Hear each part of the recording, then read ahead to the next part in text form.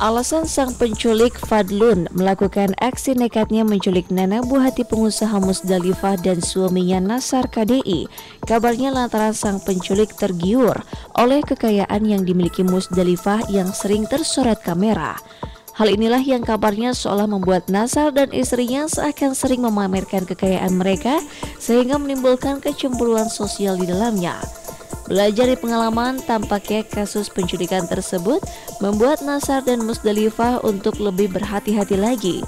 Nasar pun mengakui tidak akan menjadi orang yang suka pamer kekayaan lagi, meskipun dirinya tetap merasa jika apa yang dilakukannya selama ini bersama sang istri terbilang biasa-biasa saja. Nah, aku aku kan sebelumnya sudah pernah bilang gitu ya, kalau mungkin ada yang kurang berkenan di hati masyarakat, mungkin ada yang uh, mengurang apa ya kurang cocok melihatnya kita uh, cara uh, hidup gaya hidup keseharian atau apa segala macam kita memohon maaf apabila ada yang kurang cocok.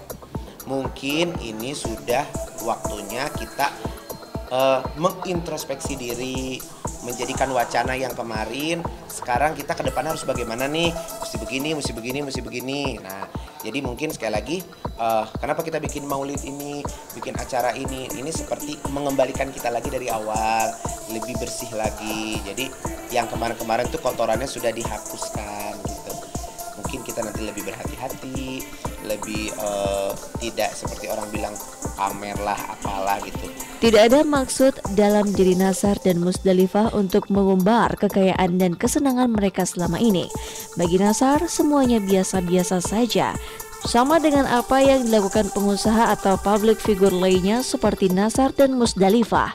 Namun meski demikian, demi menjaga keselamatan keluarga mereka dari kecemburuan sosial, Nasar pun berjanji untuk tidak terlalu berlebihan mengekspos kegiatannya bersama sang istri yang selama ini dipandang banyak orang terkesan memamerkan harta kekayaan Musdalifah sebagai mendiang istri seorang pengusaha kaya raya di kawasan Tangerang. Sementara mungkin kesannya mungkin sebenarnya menurut saya sih tidak ada yang lebih gitu ya, cuman hanya mengappreciate aja.